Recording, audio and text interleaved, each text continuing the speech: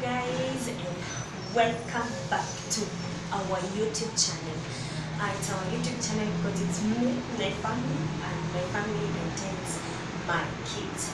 So um, it has been a while since we shared the word of God, and uh, but I'm good. Uh, my kids are good. I thank God. Um, it's another day. The Lord has made. We are in good health. So it's good we share the word of God. It's good to encourage each other. Katika safari ya maisha it's good to encourage each other. Thank you, thank you so much for my subscribers. And if you're new here, please welcome so much. Continue subscribing. Welcome and feel comfortable in Virginia's family. So uh, we're going to read the word of God.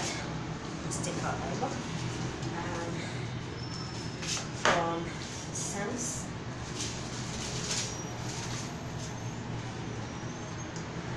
55 and the verse is 22 that says um, leave your troubles with the lord and he will defend you. He never lets honest people be defeated. Amen. Psalms 55 22 says that leave your troubles with god. Not just leave your troubles with god he will also defend you because he never lets his people defeated go down. So praise Jesus. Um, living your troubles with God. What does it mean? And like a time that you are living now, equal challenges. Mainly we have corona, we have uh, losing jobs, we have losing our loved ones. There are a lot of challenges right now, but we are told to leave everything to God because uh, we, are, we are not even guaranteed of tomorrow. So when we start stressing ourselves with the troubles, everything that is happening around us, sometimes we can become sick, we find high blood pressure, diabetes hunting us so, so badly, and um, it's very bad. I myself have learned to live my troubles with God because kuna wakati nilikuwa ninang'ang'ana, kuna wakati I was struggling, kuna wakati I was finding, I was trying to find answers in my life all by myself. But um, it's not one because kila kitu yenye nilifanya it was all in vain. Actually I did not have a lasting solution I did not have a, something to to show up at the end of the day. It was just troubles and troubles with no fruit.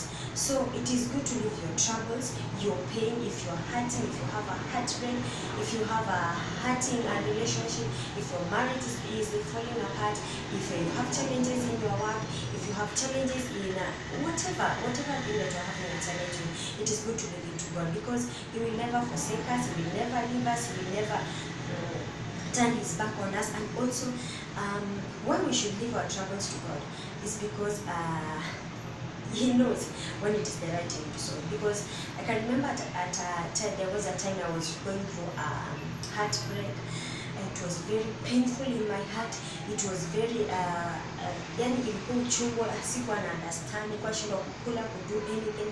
But I'm telling you when it was the right time for God when he came in my life that right time I'm telling you everything changed. Everything just fell into place because when you find peace joy happiness started eating gaining weight and I'm telling you it was just amazing. So just want to encourage you this morning leave everything to God. Even if he's not coming now you might be praying he's not coming you might be this traveling, he's not coming he knows the right time and when it is the right time I'm telling you he will come because ye huwa hakuji haraka na huwa chelewi anakuja at the right time it is good to always rely on God and leave your troubles with God. Just pray be faithful be honest with God and everything will just run uh, into place.